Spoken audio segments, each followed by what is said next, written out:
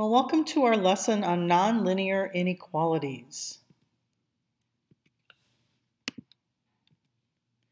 In this lesson, we're going to be learning how to solve polynomial inequalities and also to how to solve rational inequalities. The process we're going to use for solving polynomial and rational inequalities will be this. We're first of all going to find all the zeros of the function, then we will create intervals on a number line from those real zeros, and that will help us to create a sign chart, which will help us to solve our inequalities. So let's start by looking at an example. In this example, we have an inequality x squared minus 6x minus 30 is greater than negative 3. The very first step you're always going to want to do is to get your inequality on one side of the inequality sign so that you have a zero on the other side. In this case, we would be adding 3 to both sides, which gives us this inequality. Then what we're going to do is we're going to treat that just like a regular polynomial equation, and we're going to find the zeros. Now, we've already gone through how to find the zeros of polynomial equations. We have a lot of strategies for doing that. I'm not going to go through that in this video. So we're assuming we already know how to do that because we've covered this material. Um, we can go ahead and factor this one and we end up with x plus 3 and x minus 9. Those are the values that will go on our number line. We set each factor equal to 0 and that gives us a negative 3 and a positive 9 on our number line. Then what we're going to do is now we have three intervals. We have left of negative 3, between 3, negative 3 and 9, and greater than 9. So we are going to pick test values in each of those intervals. These are completely random. You can choose what you want. I chose negative 4 because it's left of negative 3. 0 is between there, and 10 is to the right of 9. So our process is going to be take the test point and plug it into each of those factors and see what you get out, whether it's a positive or a negative. If I plug in negative 4 to my first factor, I get a negative. If I plug in negative 4 to my second factor, I, always, I also get a negative. Likewise for 0 and for 10. Now, our sign chart, we're thinking of having factors that are multiplied. So when I multiply two negatives, I get a positive. A positive and a negative gives me a negative, and two positives give me a positive. So now I have my sign chart completed, I should be able to figure out uh, when this linear inequality or nonlinear inequality is greater than zero. And what that means is where is it above the x-axis? So graphically, this particular problem is a quadratic. So it's a parabola. It opens up because our leading coefficient is positive. We want to know where it is positive. Well, our sign chart told us to the left of negative 3 and to the right of positive 9. Those are the two areas shown in red in the graph. And so that's exactly right. Now notice we don't have an equal to with our inequality. It's only greater than. So we will use parentheses and not um, the brackets for indicating the endpoints. So anything from negative infinity up to negative 3, but not including negative 3, and anything greater than 9. Those will all be solution sets of that nonlinear inequality. Here's another example. If we know the real zeros and their multiplicity and the function's end behavior, we can create a sign chart without testing the values like we just did. Okay, so we know how to solve these. Okay, we've already spent lots of time doing that. So the first thing you need to do is to find the real zeros. And those real zeros can be found using lots of different um, methods. We're not going to cover that again in this video. Uh, once you find the zeros, you set each factor equal to zero, put it on your number line, and these are the real zeros for this cubic polynomial.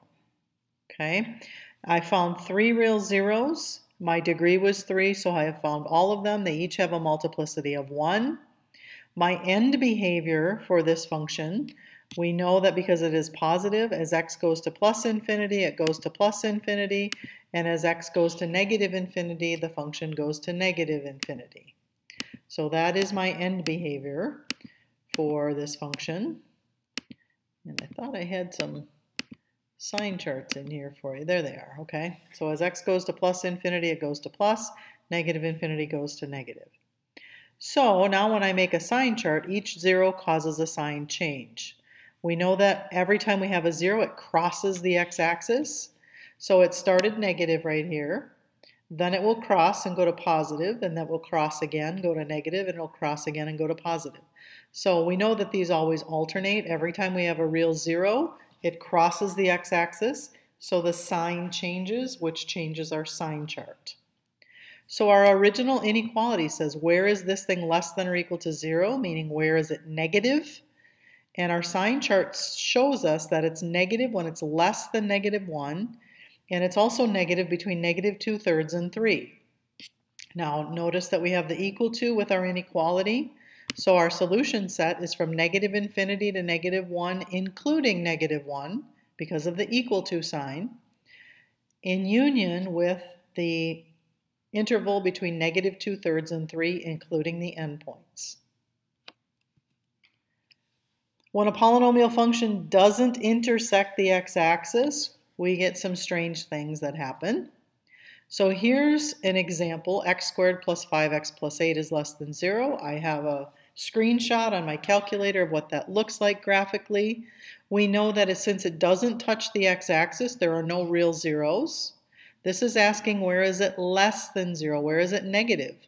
Well, it, it never gets negative. So this one, there are no real zeros. So we have the empty set for our solution or no solution. Same function, where is it greater than or equal to zero? So that's asking us where is this thing above the x-axis? Well, it's always above the x-axis, so it's all real solutions from negative infinity to infinity. Here's another example, x squared minus 10x plus 25 greater than 0. If we factor that thing, this is a perfect square, and it's x minus 5 times x minus 5. So we could write that as x minus 5 squared so we notice that it has one real zero, x equals 5, but it has multiplicity 2. Now remember when we have an even multiplicity, then this function will not cross the x-axis, but it'll touch the x-axis. So in this case, our solution set is from negative infinity to 5, union 5 to infinity. There's no equal to, so we have to not include the 5 in our solution set. And on the other side, same function again. We already factored that, but this one's asking us where is it less than or equal to 0? And it's less than or equal to 0, only equal to 0 at x equals 5. It's never less than 0 on this one. This one's a parabola, and it touches at 5. That's the vertex. So the solution set for this one is only at 5. So remember that polynomial functions only change signs when they have the real zeros. When it crosses the x-axis, um, that's where our real zeros are. So that's where we change signs. A rational function changes signs at the real zeros or at points of discontinuity. So we have learned to make a sign chart for our rational functions. And that sign chart will include the zeros of both the numerator and denominator. And so first of all, we want to start by getting a single rational expression on one side, okay? So this one we have a zero on the right, but we need a common denominator here. So in order to get a common denominator, our common denominator will be x minus 6 times x plus 1. So each of those we will have to multiply by a fraction that's equal to 1.